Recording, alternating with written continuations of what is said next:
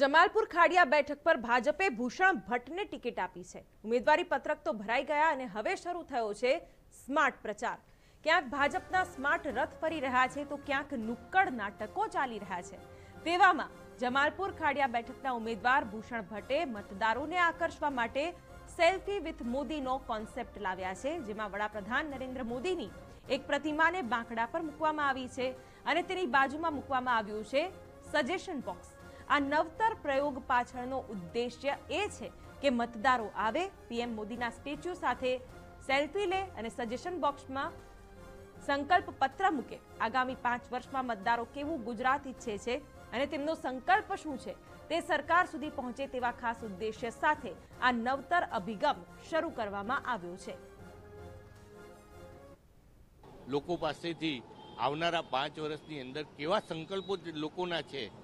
એ વિષય મૂકવા માટેના એક બોક્સ આ બાંકડા પાર્લામેન્ટમાં નરેન્દ્રભાઈ મોદી સાથે એક સેલ્ફી લઈને પોતે પોતાનું સૂચન જાણે નરેન્દ્રભાઈને આપતા હોય, એવો આત્મસાદ અનુભવ કરતા હોય અને ખૂબ આનંદ સાથે ફોટો ફોટો પણ લે સેલ્ફી પણ લે કે આ ફૂટપાથ ઉપર અનેક વર્ષો સુધી નરેન્દ્રભાઈ આવ્યા છે.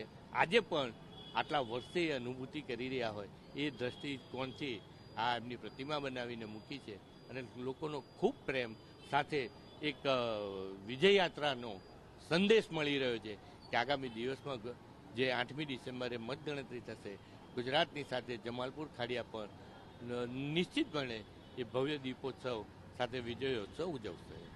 જે પ્રકારે ચાલીસ વર્ષ પહેલા ફૂટપાથ ઉપર જે પાર્લામેન્ટ બેસતી હતી, એ ફૂટપાથ પાર્લામેન્ટ પછી આજે લોકોના દિલમાં સ્થાન પામીને દેશના વડાપ્રધાન નરેન્દ્ર મોદી બન્યા અને ગુજરાતમાં જે વિકાસની ગાથા છે, એ વિકાસની ગાથા લઈને સત્યાવીસ વર્ષ સુધી શાસન કર્યું છે અને હજી પણ બે હજાર બાવીસમાં ભારતીય જનતા પાર્ટી જ ગુજરાતમાં શાસનમાં આવશે એ નિર્ધાર સાથે ભારતીય જનતા પાર્ટીનો પ્રચાર જે છે, એ પરંપરાગત પ્રચાર સાથે, આધુનિક ટેકનોલોજી સાથેનો પ્રચાર લોકોની વચ્ચે કરવામાં આવી રહ્યો છે.